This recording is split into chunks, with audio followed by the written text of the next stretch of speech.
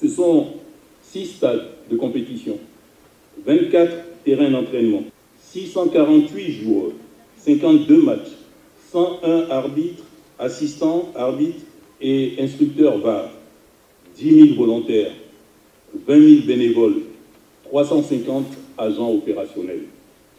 La Cannes 2023, ce sont 4 880 minutes de direct, 23 chaînes de télé, 60 diffuseurs dans 90 pays, 650 millions de vues, 1 500 000 spectateurs attendus dans les stades pour 600 millions de téléspectateurs escomptés.